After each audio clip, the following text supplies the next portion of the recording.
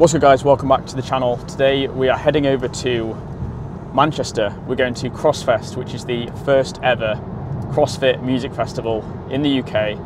And we're going to be, as going as a spectator, just to get some media coverage, going around the stands, uh, just getting involved, but not from a competing point of view, just to take you guys with me and show you what the first ever CrossFit music festival is like. And there's a few people, uh, it's teams um, competing, so you've got mixed teams, three guys, three girls to make a team of six.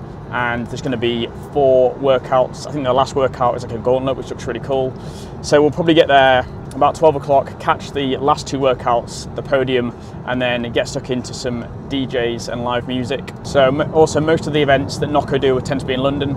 Um, so this is based in Manchester and Nocco are there as well. So it's a good opportunity for me to get involved and jump on the Nocco stand. So there's a few guys at Nocco I look forward to catching up with. Uh, Dan there as well, who's a uh, good mate of mine who is also really into CrossFit. So representing Nocco here today as well, but also yeah, just getting some uh, good footage and some good highlights of the event. Right, so we're here at Bowlers Exhibition Centre in Manchester. It's freezing, so I hope it's warm inside. I'm sure it will be.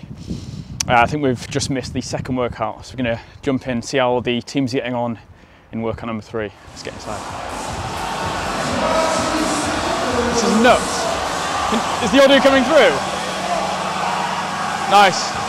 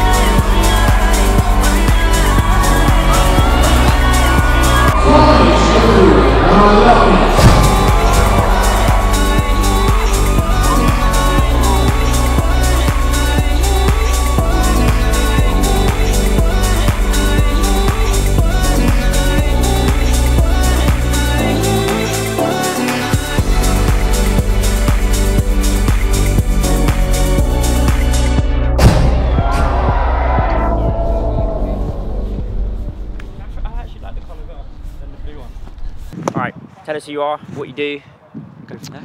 So Tom Seed, um, been with Nocco for a while. I do a lot of like gym stuff through Instagram. Um, originally did men's physique and fitness modelling, and then got roped into CrossFit kind of through Nocco indirectly, but um, yeah, I've not really looked back since. Right, so my first ever event I did was Back from the Ground, which is outdoor, and this event is completely different. It's basically like a rave.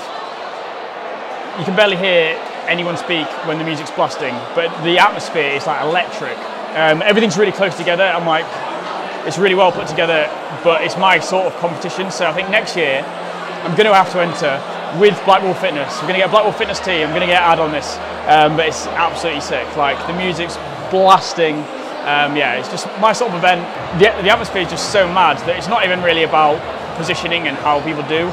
It's not that competitive. It's more just like sending it and having such a fun time after event four, like they move all the stuff out, and then this um, stage here, there's going to be a few DJs playing, and then the crowd is just going to be absolutely rammed. So essentially, it just becomes one massive festival at the end. So my sort of vibe next year, Blackwall Fitness, let's do it.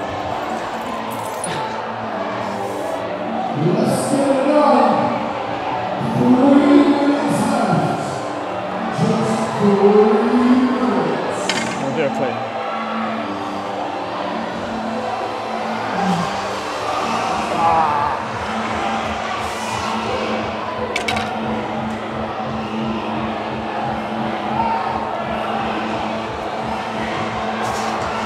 think, I think I just ripped my, my uh, trackies.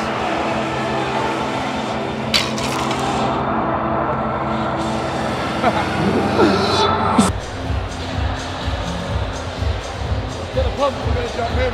Get fit for 1001, 1002, 1003, 1004. Oh, we go. Oh!